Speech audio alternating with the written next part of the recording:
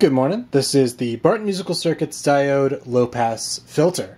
This is a four pole uh, low pass filter that uses the diode ladder configuration.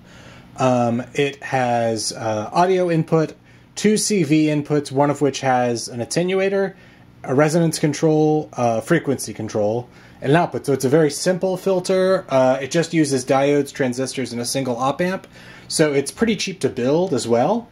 Um, and uh, yeah, I'm gonna move the camera over to the oscilloscope and patch this up uh, so you can hear what it sounds like.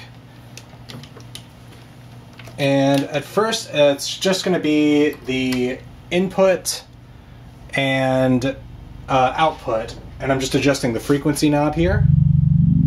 Oh, actually, the resonance is turned up. Let me turn the resonance down.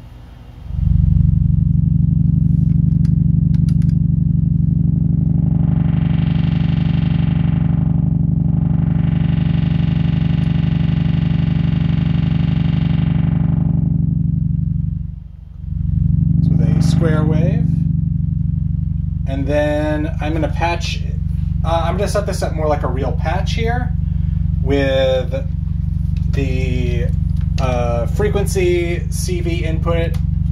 And with the second input is going to be uh, controlled by the one volt per octave signal. It's also controlling the oscillator.